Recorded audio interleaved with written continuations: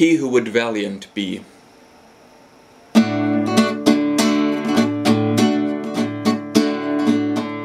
He who would valiant be against all disaster, let him in constancy follow the Master.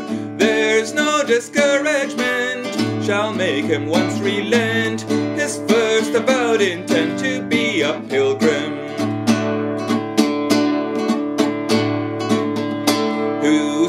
Beset him round with dismal stories, do but themselves confound his strength the more is.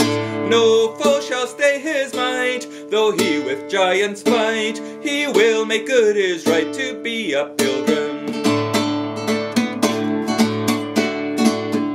Since, Lord, thou dost defend us with thy spirit, we know we at the end shall life inherit. Not what men say, I'll labor night and day to be a pilgrim.